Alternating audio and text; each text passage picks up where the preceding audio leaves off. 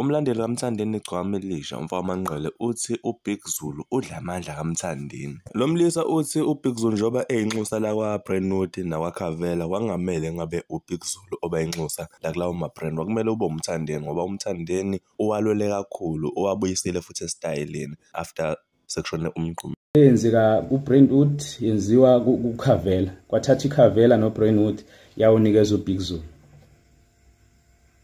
umuntu okuyiyena owaba ne-influence ukuthi ubrentwood ubuyele ekugqokweni ubrentwood wasuqalile wehlelwa izinga lokugqoka. Ukuhamba nje kamgqumeni eh uma ungangibuyisela nje ama-cd cover ungibonise ukuthi ubani owayegqoka icover. Angisho ukuthi yaqalwa umthandeni ukugqoka icover but ubani owayegqoka ichavela no-brandwood ubani owafika naleyo nto leyo? Into esihlezi sikhuluma ngayo-ke leyo eniyaziyo nani? But laphana eh ingizwisa ubuhlungu leya nto leyana. Ubig zulu simkhonzile eh ungomunye wethu uyinkabi.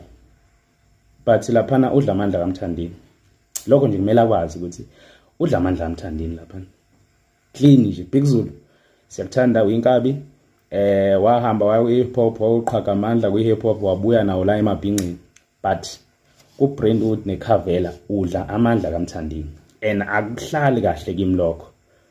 Ukuthi umthandeni afika asebenze a-influence abantu to a, to a point ukuthi ubhinca njengamanje sebu-ona kasekho umuntu oyinyeza ngokuba yibhinca.